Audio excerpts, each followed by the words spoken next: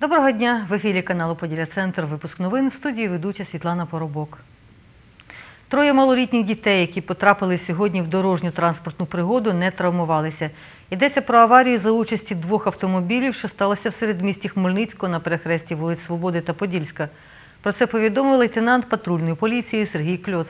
За його словами, патрульні отримали повідомлення про дорожню транспортну пригоду з травмованими та одразу прибули на місце події. На місці аварії побувала і наша знімальна група. ДТП за участі автомобілів Мерседес та Фольксваген сталося сьогодні на перехресті вулиць Свободи та Подільської.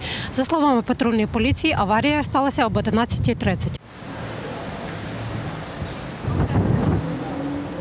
Прибувши за вище вказаною адресою, побачили, що е, перекинутий автомобіль Т4 е, попередньої служби таксі 707, е, в якому перебували пасажири, а саме малолітні діти.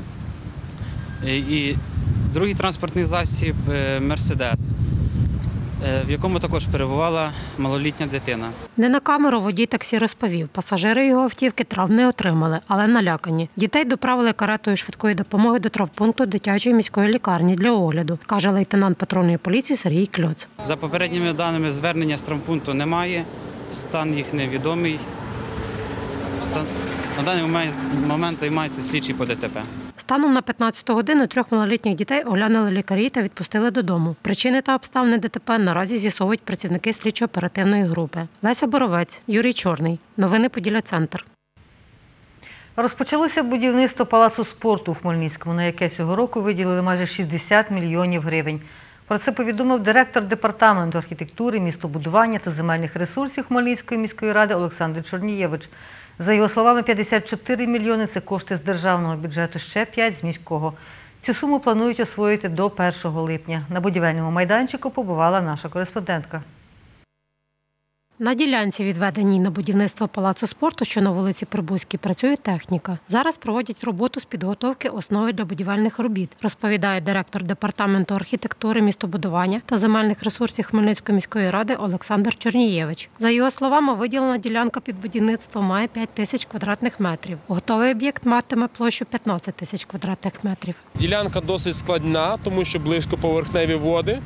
Технологічно потрібно буде провести багато процесів підготовлюючих, а після того вже приступимо до безпосереднього будівництва самого, самої споруди, яка має бути відведена під е, палац спорту, під глядацький зал і під фізкультур, під фізкультурно-оздоровчий комплекс. За словами директора будівельної компанії підрядника Івана Куртилка, за виділені кошти планують виконати всі підготовчі роботи, звести фундамент, підвести частину комунікацій тощо. Нам треба буде робити серйозну виїмку, особливо під самою спорудою. Це майже ми будемо е, виймати 2,5 метри торфа, насипати туди замість торфа будемо е, гранітний відсів і потім ще піднімати від існуючого рівня ще на 2 метри вверх дану територію. Будівництво палацу спорту розраховане на три роки. Підрядник планує збудувати за два при належному фінансуванні, каже директор департаменту архітектури, містобудування та земельних ресурсів міста Олександр Чорнієвич. Та додає, загальна вартість будівництва складає 280 мільйонів гривень. А Хмельницький єдине місто обласного значення, якому вдалося отримати кошти з державного бюджету на реалізацію проекту. Проект був зроблений досить оперативно, тому що ми змагалися за державні кошти.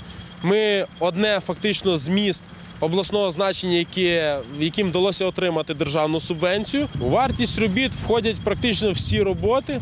Це є підготовчі роботи по землі, це є будівництво самого корпусу, це є оздоблювальні роботи всередині, це всі мережі електропостачання, водопостачання, водовідведення, будівництво каналізаційно-насосних споруд, це вентиляційна установка, яка має бути там зроблена, е, засоби протипожежної безпеки. Тобто, все, що має бути зроблено в даному корпусі, він фактично буде здаватися під ключ. Сума на будівництво палацу спорту у Хмельницькому може перевищити 280 мільйонів гривень. Про це повідомила голова Хмельницької громадської організації Жіночий антикорупційний рух Альона Береза. На її думку, в кошторисі замість динамічної ціни доцільно було б передбачити інфляцію. Це не кінцева, на мою думку, вартість цього будівництва. І е, прописування е, динамічної ціни воно дозволяє їм е, в, двосторонньому порядку збільшувати взагалі розмір, який буде витрачений, розмір коштів, який буде витрачатися на будівництво. Взагалі логічно прописувати тверду ціну і е, в кошторисі передбачати інфляцію.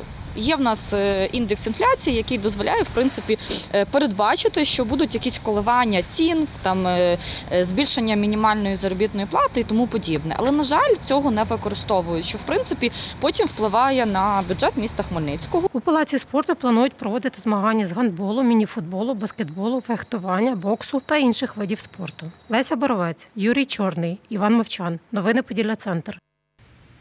Годину тому у Хмельницькому палаці творчості дітей та юнацтва розпочався вечір пам'яті народного героя України Анатолія Суліми. Заступник директора з виховної роботи Хмельницької гімназії номер 2 Тетяна Томчишина повідомила, на вечір спомин запросили рідних загиблого героя, учнів гімназії, педагогів міста, волонтерів та військових побратимів Анатолія Суліми.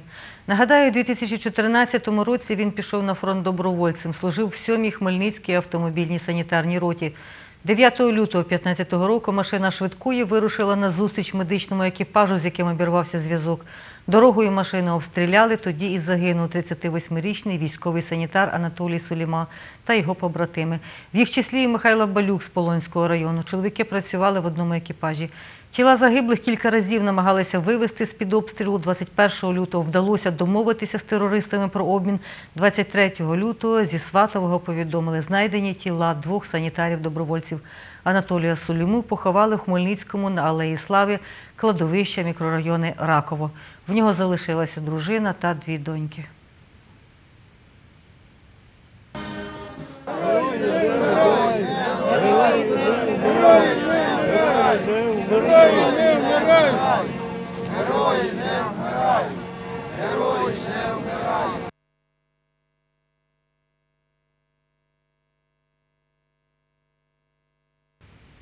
Завтра відбудеться відкриття 10-го міжнародного фестивалю Хмельницький Камерфест. Участь у ньому візьмуть академічний симфонічний оркестр Хмельницької обласної філармонії, диригент, народний артист України Володимир Шейко, академічна хорова капела Українського радіо, художній керівник і головний диригент, заслужена артистка України Юлія Ткач, читець Олександр Бойко, соліст Національної опери України. Про це повідомила головний адміністратор філармонії Людмила Молдован. За її словами, захід відбудеться о 18.30 в Хмельницькій обласній філармонії. Слухачам представлятимуть ораторію читця, баса, мішаного хору та симфонічного оркестру на тексти заповіту патріарха Йосифа Сліпого та канонічні тексти. Вхід вільний. Чемпіонами Кам'янець-Подільського району з волейболу серед чоловічих команд вдруге поспіль стали волейболісти з Ориніна. повідомляє організатор змагань Віктор Дорош. Друге місце команди Слобідко-Кульчиєвецької об'єднаної тергромади, третє посіла команда Залісся, друге Гуменецької ОТГ. Волейболіст цієї команди Андрій Микитюк визнаний кращим гравцем чемпіонату, кращий розігруючий Олександр Яворніцький з Ориніна, кращий нападник Юрій Побережнюк зі Слобідки Кульчиєвецької. За словами Віктора Дорожа, наступної суботи в Кам'янець-Подільському районі відбудеться чемпіонат району серед волейбольних команд ветеранів спорту. Наш випуск на цьому завершено. Зустрінемося о 19-й.